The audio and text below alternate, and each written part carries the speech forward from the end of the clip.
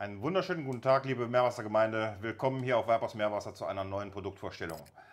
Markus ist wieder bei mir. Heute geht es um den KH Keeper Plus der Firma Refactory. Lange haben wir darauf gewartet. Was das Teil alles kann, wie es sich anhört und wie es läuft, erfahrt ihr gleich nach dem kurzen Intro.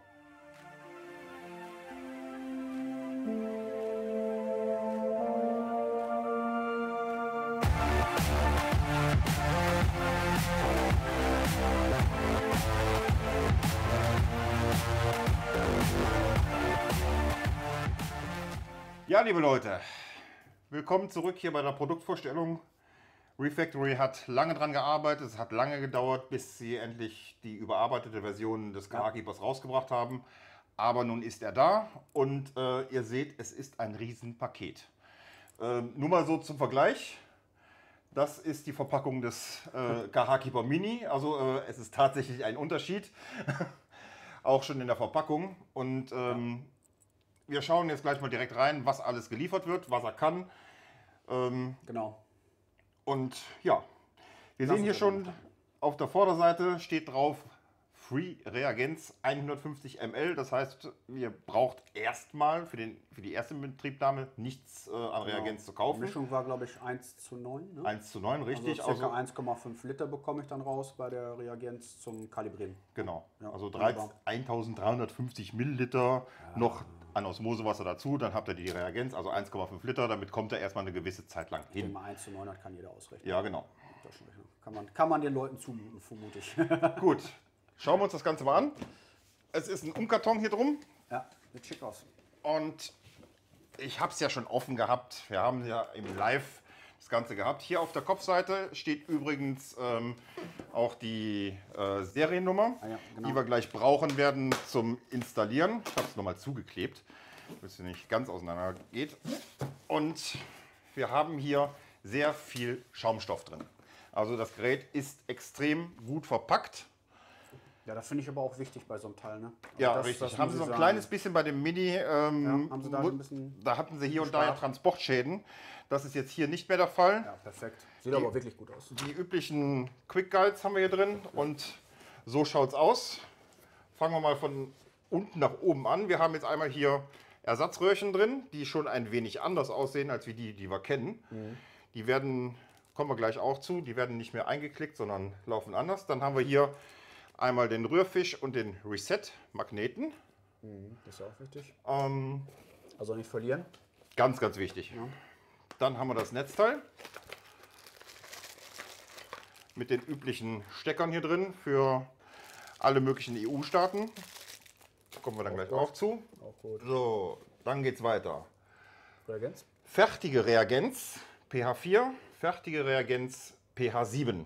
Das heißt, wir brauchen nichts mehr anmischen. Und wenn wir sauber damit arbeiten beim Kalibrieren mit der Elektrode, können wir die auch relativ lange nutzen. Ja? Ja. Funktioniert das? Man muss sie nicht wegkippen.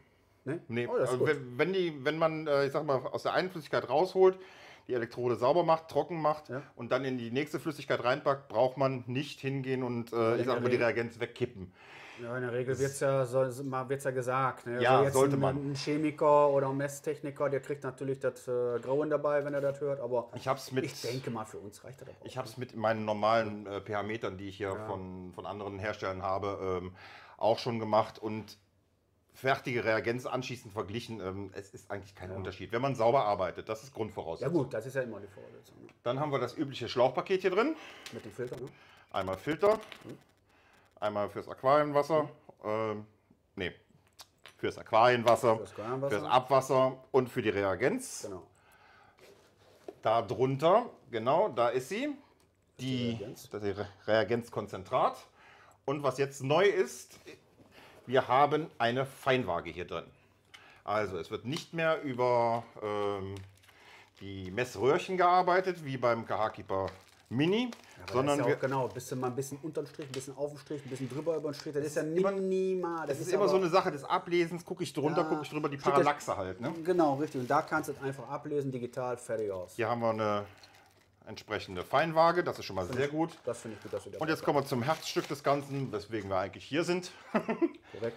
zum etwas kompakten, großen KH Keeper Plus. Das ist das gute Stück. Packen wir mal runter. Ja. Und er ist tatsächlich ein wenig größer. Und ich würde mal sagen, ich gehe gerade eben mal meinen kleinen holen, dann können wir die mal in der Größe nebeneinander stellen. Ja. Und ähm, wir sehen uns gleich wieder. Okay, bis gleich. Ja, habe ich ihn mal eben ausgebaut und habe auch direkt äh, ihn fast kaputt gemacht, aber ähm, andere egal. Sache. Ich habe den auf der Rückseite mit, mit Klettband habe ich den äh, befestigt und das ist so stark gewesen, dass mir hinten die Platte ausgerissen ist, aber kommen wir anders mal zu. Kann man anderen mal bestellen. Ähm, ist jetzt bei dem neuen natürlich nicht mehr nötig, weil er ist definitiv leiser, aber ihr seht auch schon den Größenunterschied. Also Mini, KH Keeper Plus Eindeutig. und ähm, Ich denke mal, ist auch vom Platz her zum Arbeiten her mit, den, mit der Sonde, wenn du mit dem Gläschen raus ist, ist die Fummelei, die hast du nicht mehr so. Weil du ein Definitiv. bisschen mehr Platz einfach Ja. hast. Ne? Da war doch alles sehr spack aufeinander, sehr, sehr kompakt, sag ich jetzt mal einfach so. machen wir mal den Genau. Vergleich. Genau, ich, ich mach den auch mal hier ab. Ja, es geht etwas schwerer bei dem. Du musst schon. Ja, genau. schon. So, zack. Bitteschön. So, hier unten das Gläschen noch eingepackt. Das hatte ich letzte Mal noch. Ist doch gut so. So, und ihr seht auch schon die Größenunterschiede, die wir jetzt hier halt haben.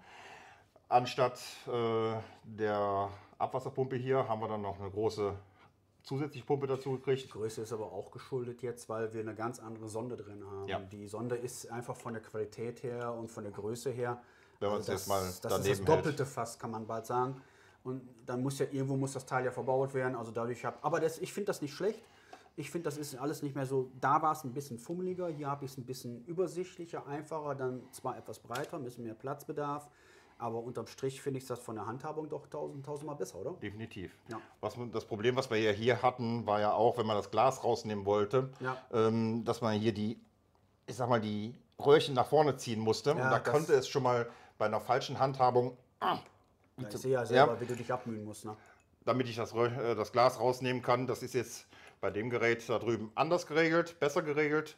Also hier sehen wir einmal sowieso schon die Ja, die Sonde ist ja schon mal Elektrode, die ist äh, auch feucht geliefert. Ne, pack's mal auf Seite. Und hier gehen wir jetzt hin und ziehen einfach nur die Röhrchen nach oben raus. Ja, und das ist praktisch gelöst. So, das gleiche Spiel hier. Nach oben rausziehen. Das gleiche Spiel und schon kommen wir ohne Probleme ans Glas dran, können es reinnehmen oder was auch immer. Wir haben jetzt hier unten auch eine saubere Aufnahme drin. Genau, dass das nicht verrutschen kann, das Gläschen. Genau, dass das Glas dahin gehört, also da stehen bleibt, wo es sein soll. Genau, und es ist eine Vertiefung drin. Und ihr seht selber, es geht eigentlich alles, wenn ich jetzt mal die rechte Reihenfolge einhalten würde. Ja, ähm, der kommt hier rein. Aha, Dann macht er den erst rein. Gib mir den anderen. Ich geb dir den, lass den Finger weg. So. so. Wir, wir streiten uns jetzt, wer das als erster Genau, machen darf. wer darf. Wir, wir sind da so richtig. Ne? So, einfach So, reinstecken. genau, Das gleiche Spiel hier. das auch. Die Sonde wieder Leicht kippen. leicht kippen, einsetzen, fertig. Und schon haben wir im Prinzip das Gerät wieder einsatzbereit. Ist das schlimm, dass der hier an der Seite drankommt? Das Röhrchen und der Sonne, wenn das unten Nee, nee, nee, das die muss ja direkt unten aufliegen. Ich dachte aber, wenn, das- wenn das an der Sonne rankommt. Das, Nee, das, das passiert nicht. Da passiert nichts. Alles gut. Ja, Anschlüsse haben wir wieder hier auf der Seite. Das gleiche Spiel. Von unten nach oben beschriftet auf der genau. ähm, Hülle hier außen. Der Strom. Reset ist jetzt auf der Seite, war ja bei dem Gerät hier auf der gegenüberliegenden Seite. Aber ansonsten haben wir die von der Größe her und von der Installation her ist es erstmal das gleiche. Ja, ist identisch. Und sieht auch gut aus. Also ich finde Ja. es wieder sauber verarbeitet. Na, hat auch. Ja. Gewichtmäßig ist ist nicht ein Riesenunterschied, Ja, eigentlich äh, ist es nur Ist die ja- größere Sonde, ein bisschen mehr Material. Ein bisschen mehr Kunststoff ist dran, weil Genau. durch die Sonde, ne? Genau. Aber sieht schick aus, der Teil. Definitiv. Und Zubehör finde ich auch genial, dass jetzt da Refactory dran gedacht hat. Vor allen Dingen mit der Feinwaage. Also ich meine, das sind ein paar Euros. Richtig. Und es Nee, ist sehr viel genauer. Sehr viel genauer, man kann richtig vernünftig arbeiten. Äh, wenn ich sonst alles sehe, ist ja alles so geblieben. Und was ja auch nicht neu ist, ist ja die pH-Lösung, hast du gesagt. Genau, die ist jetzt schon fertig angemischt. Genau. Also beim Vorgänger hatten wir ja noch zwei Tütchen, die man sich selber anmischen musste. Genau. Ähm, die kann man eine gewisse Zeit lang benutzen. Man sollte aber auch immer schauen, dass man dann gegebenenfalls eine Referenz dagegen hat. Also noch zusätzlich. Ich habe hier. Ja, ich habe ja, das, das kommt ja dadurch schon geschuldet, wenn ich jedes Mal öffne, habe ich ja eine Verdunstung. Ja? Richtig. So, und dadurch verändert sich der pH-Wert letzten Mhm. Endes, ja, weil das Material bleibt drin, das Wasser verdunstet, genau wie bei uns beim Aquarium. Ja. So, und äh, dadurch kann eine Ungenauigkeit irgendwann entstehen. Also, Ich habe bisher jetzt diese Lösung hier benutzt. Äh, die kann man bei einem großen äh, Versandhandel, Ja. bestellen, kosten nicht die Welt. Genau. Ähm, das war für mich die Wegwerflösung. Also ich habe sie benutzt und anschließend entsorgt. Äh, das ist für mich das Genaueste gewesen. Aber es geht auch, wenn man genau und sauber arbeitet, halt eine Zeit lang mit denen hier gut. Du musst halt dann immer jedes Mal die Sonde schön Genau. wieder, ne, spülen kurz immer. So Leute, wir haben dann jetzt schon mal ein bisschen aufgebaut hier und im Prinzip schon die Anschlüsse verbunden, das Gerät eingeschaltet. Ja. Das Einzige, was wir noch nicht gemacht haben, ist die Kappe von der Elektrode. Und äh, eine Kleinigkeit hier beim, bei der Wasserentnahme ist ja dieser Filter. Ähm, grundsätzlich soll es so sein, dass dieser Filter unter Wasser äh, sein soll, und zwar vollständig. Jetzt hätte ich mir vom Refactory gewünscht, dass sie genau so eine Klammer hier mit dabei packen, damit man das unter Wasser sauber gerade reinpackt. Habe ich bei mir im äh, Aquarium auch so gemacht. Ist leider nicht dabei, kann man aber, ist Pfennigskram, ähm, ohne Probleme so installieren. Ja, du kriegst ja von, von jedem eh Ja, ja. Filter oder was weiß ich. Ob da das jetzt so eine große Klammer ist oder eine, die hier unten passt. Hauptsache, das Ganze sitzt gerade und senkrecht, weil wenn der dann anschließend anzieht, Mhm. habe ich gemerkt, ist es besser, wenn er tatsächlich gerade ist. Äh, wenn er verdreht ist, dann kann das schon mal sein, dass er zwischendurch beim Befüllen da dann Luft, zieht, dann haben wir nicht mehr die richtige Menge. Ich würde den aber auch im Technikbecken oder im Becken nicht bis auf den Boden setzen. Nee, nee, dann ein bisschen Platz lassen, damit der unten nicht irgendwie Schmodder anzieht. Ne? Genau, mittlerer Bereich, irgendwo da in einem Bereich, wo äh, sauberes Wasser ist, ist bei mir jetzt im, äh, im letzten Teil habe ich den, den Ausgangsschlauch, also hier könnte man jetzt auch noch einen Schlauch anschließen. Ähm, genug davon haben wir. Also ähm, wer das Ganze dann nur über einen Schlauch anschließen möchte, Aber würde ich nicht machen, weil dann hast du den Schlauch unten im Becken, im Technikbecken liegen. habe ich ja auch so, aber auch noch so ein Stück über Ja, wenn er da drüber hängt, genau, wenn er noch, Genau. genau, dann ist okay. Ja. Also das wäre ein Tipp von mir, äh, jetzt aus der Erfahrung vom KH Keeper Mini her, äh, das so zu machen. Man kann es natürlich auch einfach nur so im Becken hängen lassen, wenn der befüllt ist, beziehungsweise wenn, der, äh, wenn Wasser drin ist, dann geht das Ganze auch unter. Aber wir, wir haben eben gemerkt, jetzt nur mal ganz doof, äh, der schwimmt, wenn er leer ist.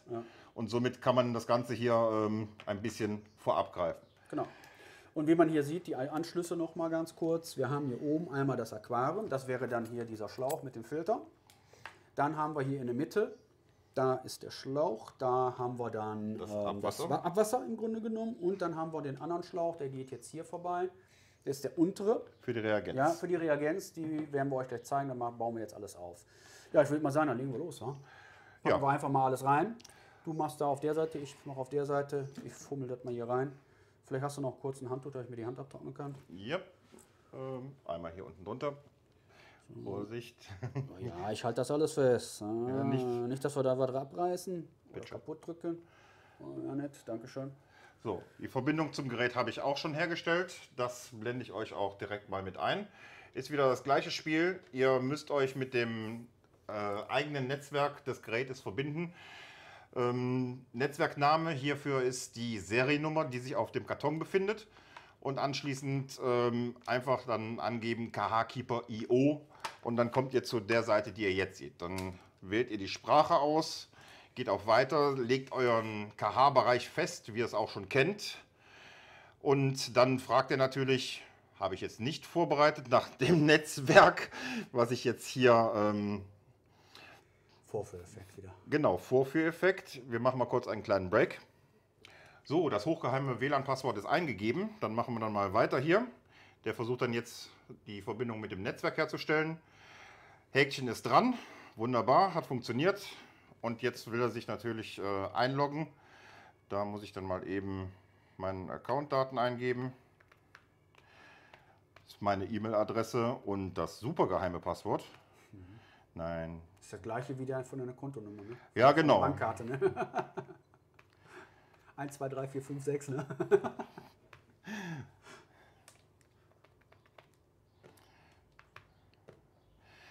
So, wir wurden erfolgreich angemeldet und herzlichen Glückwunsch. Wir haben das Ganze jetzt in das Konto integriert und können dann jetzt von hier aus wieder zurückwechseln. Na, nicht verbunden, suchen in mein normales Netzwerk herein.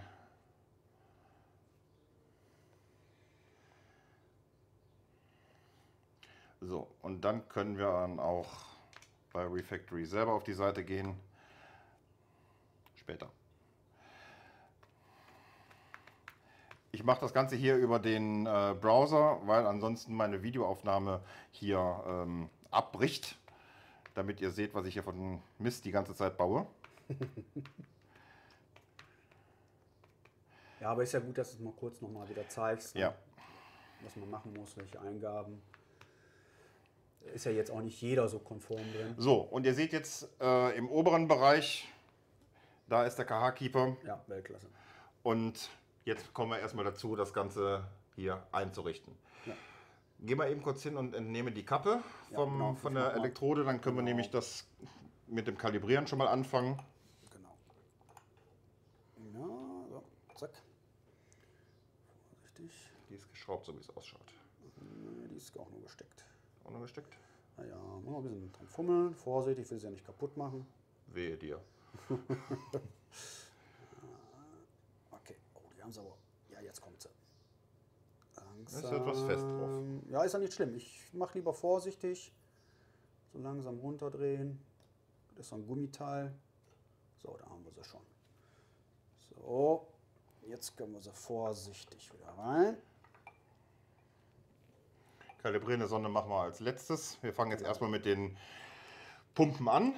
Und so, kommen wir zum ja, Kalibrieren der Ja. Reagenzpumpen beziehungsweise auch der äh, Aquarienpumpe. Ganz normal. Erstmal müssen wir das Ganze natürlich befüllen und gehen hier unten auf System füllen. Genau, das kannst du ja schon mal machen. Ich packe schon mal die was? Reagenz aus. Hört ihr was? Nicht viel. Ich gehe mal was näher ran mit dem Mikro. Aber das Geräusch ist auch normal. Das ist ganz wenig. Das ist wirklich leise. Also wenn der Schrank zu ist, ich glaube, da hört, da hörst du nichts mehr. So, System ist befüllt. Gut, genau.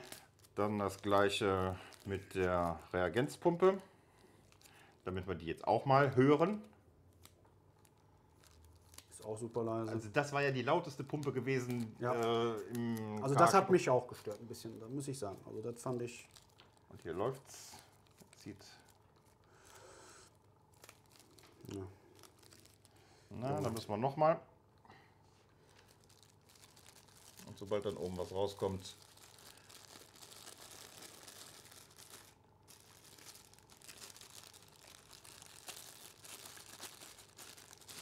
Jetzt kommt die Reagenz. Na, das so? nochmal. Ja, ist noch nicht ganz. Jetzt ne? ist sie da. Noch ein bisschen Luft drin, ne?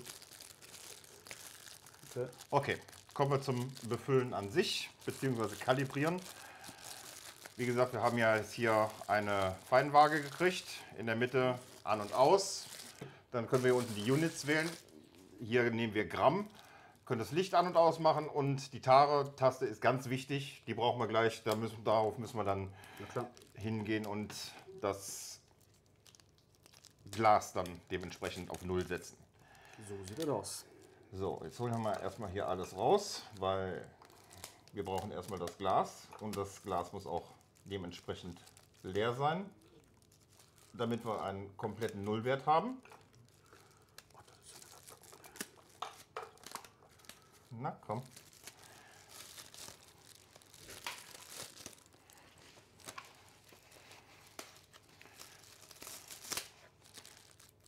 So. Blende ich euch auch noch mal eben kurz ein kleines Video dann zu ein, wie das hier geht. Also an. Das Ganze steht jetzt auf Null, das Glas ist komplett trocken. Jetzt gehe ich wieder hin, setze es an die entsprechende Stelle ein. Na. Reagenz brauchen wir im Moment noch nicht. Dann gehen wir auf die Aquarienpumpe und kalibrieren. 60 Sekunden läuft das Ganze dann mit Wasser. Ja, dann lass Und das. Wasser, was dann dementsprechend drin ist, wird abgewogen und anschließend gleich eingeblendet. Machen einen kurzen Zeitsprung. So, ihr seht, 60 Sekunden lang hat er jetzt Wasser hier reingebracht. Das packe ich jetzt hier drauf. Ich habe jetzt 17,38 oder 17,37 und die gebe ich jetzt genau so immer, wenn ich sie ein, richtig eingeben würde, ja, 17,37. Dann gehe ich auf OK und dann sollte das Gerät eigentlich kalibriert sein. Ja. So, jetzt gehen wir hin und überprüfen die Genauigkeit. Wo habe ich mein Läppchen? Wichtig ist, das Glas immer wieder komplett trocken machen, ausspülen. Einmal gucken, ob es tatsächlich auch auf Null ist und anschließend ähm, geht er mal hin, weil das Ding hier hat einen 30 Sekunden Delay. Danach schaltet es sich ab. Ja, haben wir gerade auch festgestellt. Haben wir gerade Auch ein festgestellt. bisschen blöd geguckt, ne? Ähm, dann geht er einfach hin, packt was drauf oder tippt alle paar Sekunden drauf, damit diese Einstellung, äh, behal- dass ihr die behaltet, damit ihr auch vernünftig messen könnt. Jetzt machen wir Prüfen der Genauigkeit. So, kommen wir jetzt zum Überprüfen, ob das Gerät auch richtig kalibriert hat. Ja. Und uns ist eben eine Kleinigkeit aufgefallen. Ähm, diese Feinwaage hat ein, äh, eine Selbstabschaltung nach 30 Sekunden, die sich, haben wir bisher geguckt, kann man nicht abschalten. Heißt im Umkehrschluss, äh, ihr müsst euch das äh, Ergebnis errechnen. Dafür nehmt ihr euch euer Glas, stellt es drauf, lässt das, lasst das Ganze dann einmal wiegen, bis es auf Null steht, nehmt das Glas runter und dann habt ihr hier die entsprechende Zahl stehen, 48,26. Einfach aufschreiben. 48,26 aufschreiben, weil das Gerät schaltet sich nach 30 Sekunden aus und das Gewicht vom Glas, das müsst ihr dann anschließend von der Gesamtmenge abziehen. So, gehen wir jetzt hin und überprüfen die Genauigkeit und dann machen wir wieder einen Zeitsprung. Aquarienpumpe, prüfen der Genauigkeit, 60 Sekunden, 50 Milliliter werden jetzt reingepumpt und, Und dann dann, sehen wir uns gleich wieder. So, Zeitsprung um, 50 Milliliter sollten drin sein. Einmal wieder das Röhrchen nach oben. Also das haben sie schön gemacht. Optisch sieht das schon mal gut aus. So, dann das Ganze wieder an. Und wir haben 99,10. Gut. Und ich rechne das dann mal aus. Bitte schön. Dankeschön. Ja. So, dann So, dann machen wir 48. Komma. Ne, muss ich andersrum, ich Idiot. Ich bereite schon mal jetzt das Kalibrieren der Ja, ich jetzt Reagenzpumpe vor. Und wir machen das gleiche Spiel wie vorher hier auch. Das Gewicht haben wir. Und wir gehen zurück, Reagenzpumpe und prüfen der Genauigkeit. Nein, Kalibrierung, Einleitung, sowas. Und wir starten die Kalibrierung.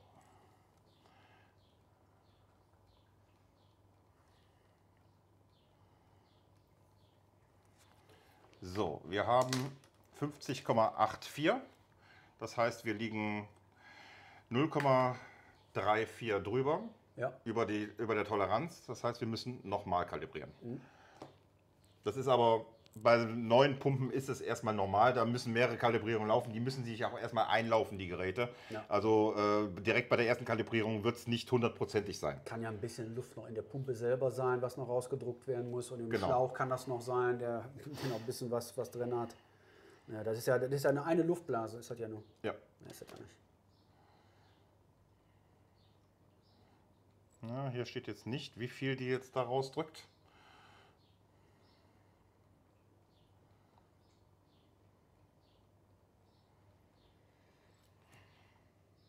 Jetzt hat das.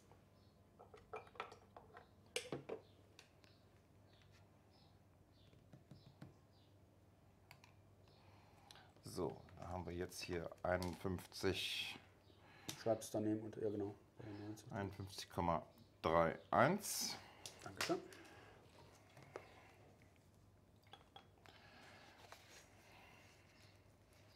So. Gleiches Spiel nochmal von vorne.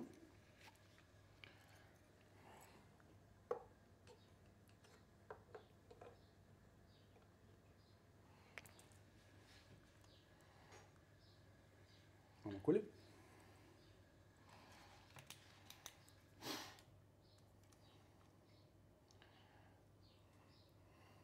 Da kommen dann die 3,05. 05. So, und jetzt prüfen wir die Genauigkeit. Gleiches Spiel wie eben auch. Und der macht jetzt 5 Milliliter rein und wir sehen uns gleich wieder. So, Zeitsprung ist um. 5 Milliliter sind drin. Gleiches Spiel wie gerade eben auch.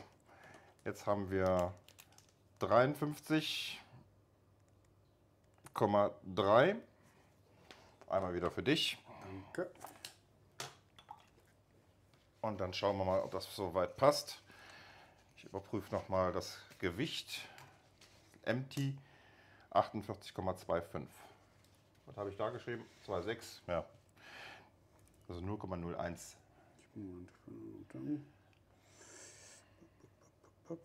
So, dann haben wir die 5,04. Bräuchte nicht aufschreiben, ne? 5,04 passt soweit. Wir sind im Bereich. Näher dran wäre es natürlich schöner, aber das, das Gerät wird jetzt noch mehrmals kalibriert Ja. im Laufe des Gebrauchs und äh, dann werden auch die entsprechenden Differenzen Genau. runter auf Null gesetzt. Genau.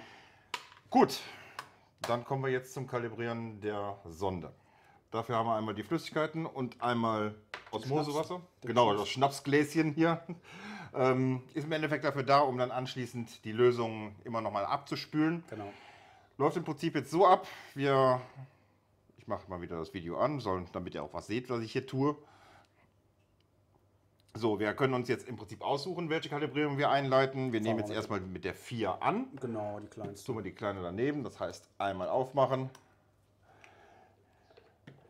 die Sonde rein, dann sagen wir okay und dann läuft jetzt hier ein 5-Minuten-Timer, in der er die Sonde jetzt einmisst Genau. und äh, dann sehen wir uns gleich wieder. Später. So, Zeitsprung um, 5 Minuten vorbei, das Gerät zeigt mir an, ist okay. Jetzt können wir im Prinzip nochmal hingehen und äh, schauen, was jetzt angezeigt wird, also sprich Prüfen der Genauigkeit. Und da können wir dann dementsprechend entweder die pH 7 oder die pH 4. Jetzt nehmen wir natürlich erstmal die pH 4, lesen des pHs und der zeigt mir oben links in der Ecke an, im Moment, im Moment natürlich jetzt eine 4,0. Gut, So soll es sein, ne? dann, Dann raus. Walte deines Amtes, Ich bin der Verwalter den direkt wieder zumachen. mit dem Schalter. Einmal ein bisschen durchschütteln, dass unten alles raus ist. Kurz noch mal so ein bisschen dran, dann gut abtupfen. Einmal reinpusten, dass aus der Ritze alles raus ist.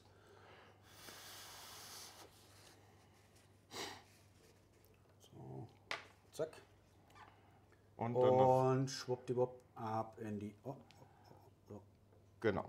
so ist besser. So, Kalibrierung einleiten und wieder fünf Minuten. Bis gleich. So, jetzt haben wir die Grundvoraussetzungen hergestellt.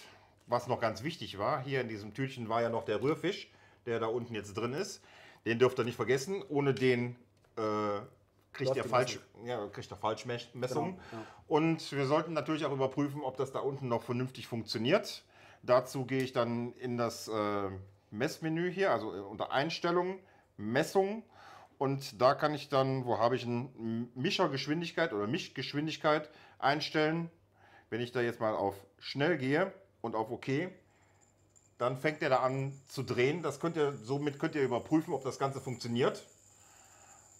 Und es hat natürlich auch den Vorteil, dass wenn sich irgendwo was abgesetzt hat, dass er gerade mit dieser extremen Rührgeschwindigkeit auch so ein kleines bisschen Ja. Rückstände abmacht. Also da, darüber könnt ihr das dementsprechend auch einstellen. Ich stelle es mal wieder runter auf Mittel. Und da das gleiche Spiel. Gut, wir haben jetzt im Prinzip soweit alles ähm, eingestellt und ich denke mal, wir fangen jetzt mal an, die Messung einzuleiten und lassen dann mal den Zeitraffer mitlaufen, damit ihr seht, was das Gerät zwischendurch alles macht und danach dann schauen wir weiter. Also, bis gleich. Bis gleich.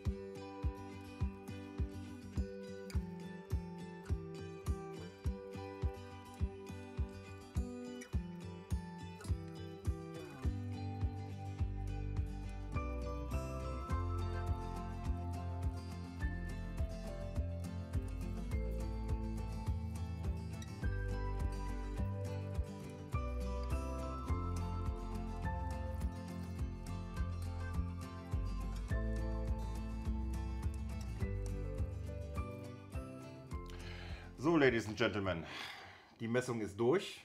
Wir haben ein Ergebnis Genau. und da haben wir es 7,65 ist das aktuelle Ergebnis. Ich werde das gleich auch nochmal gegenchecken. Und optisch zeigt das euch auch an. Genau. Ob das okay ist. Der, Liegt- die, die Grün ist dann jetzt okay. Ist in Liegt der innerhalb des äh, vorgegebenen Bereichs, den wir gemacht haben. genau, Also den du gerne haben möchtest. Ne? genau so ist es. Ja. Und ähm, ja, alles in allem, die Messung ist länger als beim KH Keeper Mini. Ja.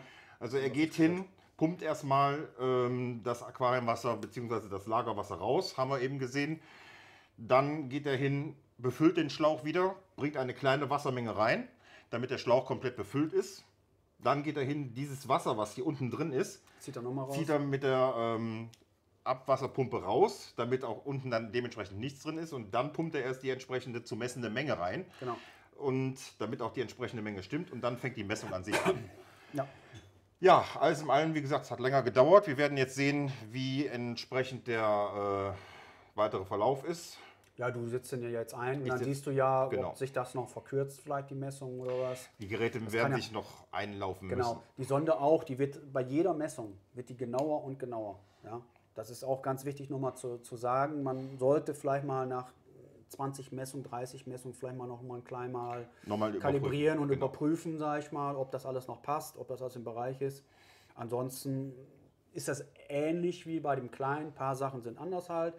Hier ist eben halt äh, ganz wichtig halt von den Pumpen her, dass Ja. es einfach jetzt auch von den Geräuschkulisse her Also angenehm ist, dass man so gut wie gar nicht hört, wenn man es verbaut hat. Also die lauteste Pumpe ist tatsächlich hier oben die normale ähm, oder? äh, Abwasserpumpe. Die ist lauter wie die beiden hier unten, aber das ist, ähm, ich sage jetzt mal im Vergleich dazu, was, wie es vorher war, der Trecker, sage ich jetzt mal, Das kann man so sagen, ja. Stimmt ähm, allerdings. ist, es ne? ist es marginal. Ja, finde ich auch. Finde ich gut so. Nee, also das war es eigentlich auch, ne? Was Ich denke auch. Haben erstmal, ne?